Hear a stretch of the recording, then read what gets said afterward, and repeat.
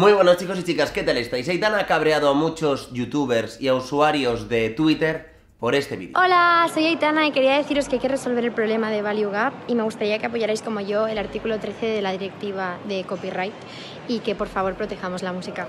Nada, os envío un saludo y un besazo. Adiós con esta mano.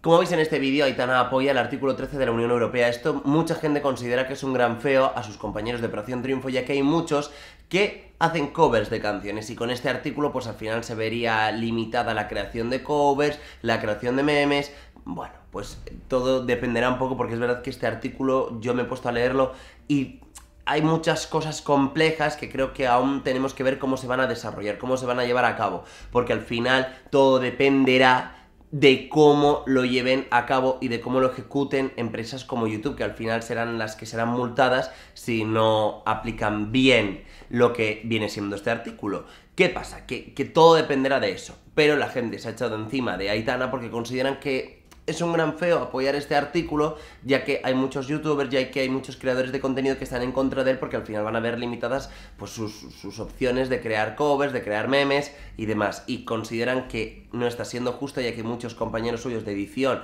y que ella misma en alguna ocasión ha realizado covers de otras canciones y por lo tanto se podría ver afectada por esto.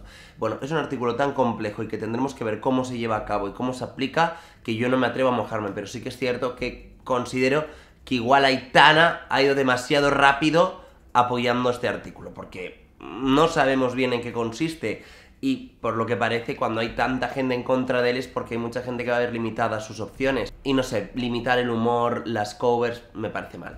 Pero bueno, como os digo, todo dependerá de cómo se aplique este artículo, de hasta dónde llegue este artículo, de hasta de los estrictas que se pongan las empresas, etcétera. ¿Qué os parece? ¿Os parece un motivo para cabrearse con Aitana este o no? Dadle al like si os gusta este vídeo, al dislike y suscribiros, que estéis invitados.